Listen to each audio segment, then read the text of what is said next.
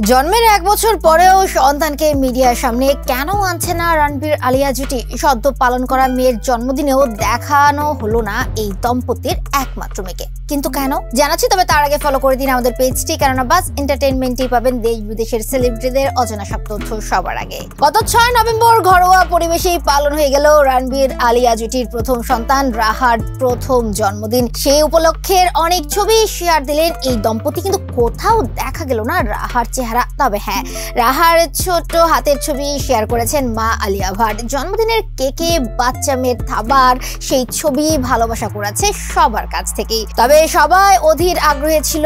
এক বছর বয়সী রাহার চেহারা দেখার জন্য কিন্তু রানবীর, আলিয়া, জুটির ইচ্ছা, সন্তানের চেহারা মিডিয়াতে এখনই দেখাতে চান না তারা। তাই রাহার চেহারা দেখতে হলে মিডিয়াকে হয়তো আরও বেশ কিছুদিন অপেক্ষা করতে হবে। দর্শক, রানবীর, আলিয়া, জুটির এমন সিদ্ধান্ত নিয়ে আপনি কি ভাবছেন? কমেন্টে আপনার মতামত জানাতে ভুলবেন না। সেই সাথে ফলো ও সাবস্ক্রাইব করুন বাস এন্টারটেইনমেন্ট